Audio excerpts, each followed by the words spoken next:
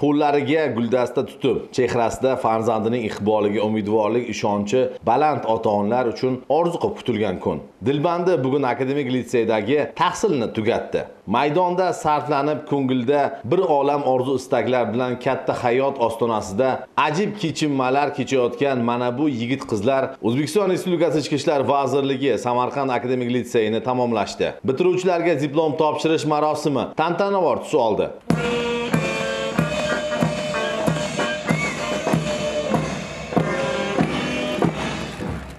Mustafa Polkovnik, O'zbekiston Respublikasi Ichki ishlar vazirligi Samarqand akademik litseyi bitiruvchi kurs o'quvchilari bitiruv marosimiga saflantirildi.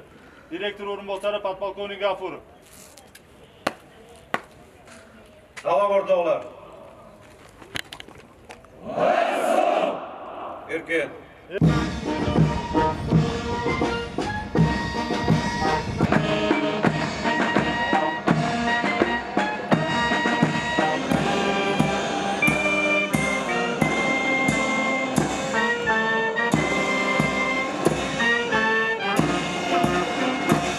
Davlatimiz madhiyasi bilan boshlangan tadbirda so'z olganlar yurtimizda ta'lim tizimini isloh etish yoshlarga yaratilayotgan keng imkoniyatlar.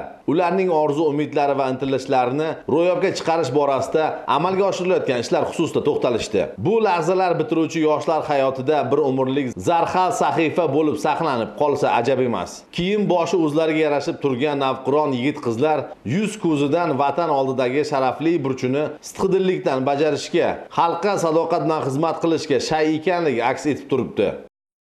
Dostlar! Belgilangan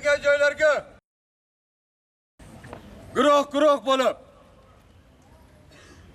qadam bos!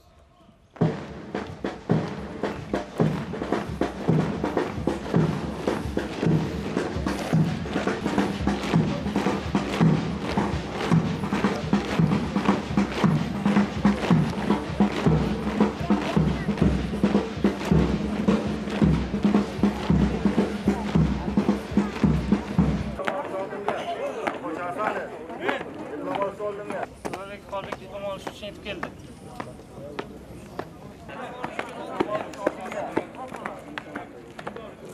O'zbekiston Respublikasiga sadoqat bilan xizmat qilaman.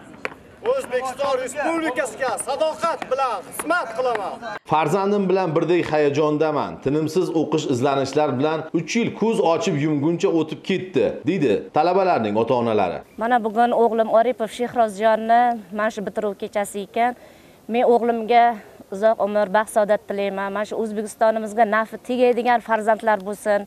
Choryorbek akademik litseyining a'lochi o'quvchilaridan biri. 3 yil tahsil davomida ustozlaridan vatanparvarlik yurtga sodiqlik mangulik jasorat qat'iyatlikni o'rgandi. Endilikda litseyda o'zlashtirilgan ko'nik va bilimlarni mustahkamlash ichki ishlar vazirligi akademik litseyiga o'qishga kirish istagida. Mana biz bugun nasib bo'lsa Ichki ishlar akademik litseyini tamomlayapmiz.